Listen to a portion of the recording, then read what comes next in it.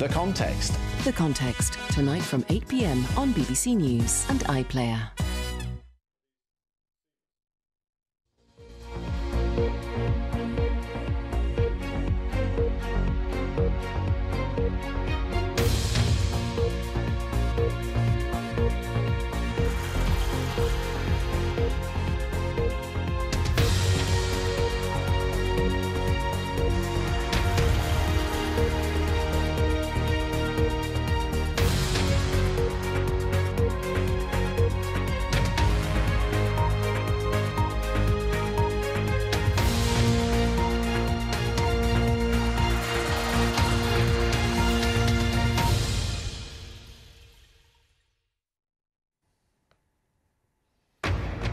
Live from London, this is BBC News. The Ukrainian President Volodymyr Zelensky arrives in Jeddah for the Arab League summit.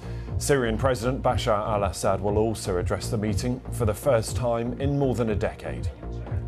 Leaders of the G7 countries vow to starve the Russian war machine with new sanctions on the first day of the summit in Hiroshima.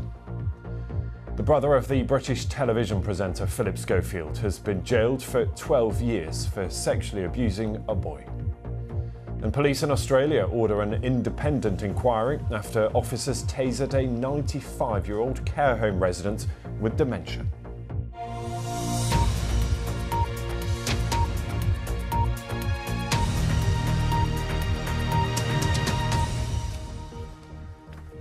Hello to you, very warm welcome. I'm Ben Thompson, and we start with news within the last hour. And in Jeddah, where Ukraine's President Zelensky has arrived on an unannounced visit at an Arab League summit that is just getting underway. He tweeted that he wanted to enhance Ukraine's ties with the Arab world and take cooperation with the Saudis to a new level. Well, also at the summit is the Syrian President Bashar al Assad, making his first appearance there in more than 12 years. That, of course, after Syria was thrown out of the group in response to the suppression of pro democracy protests and a prolonged civil war. He arrived in the country last night.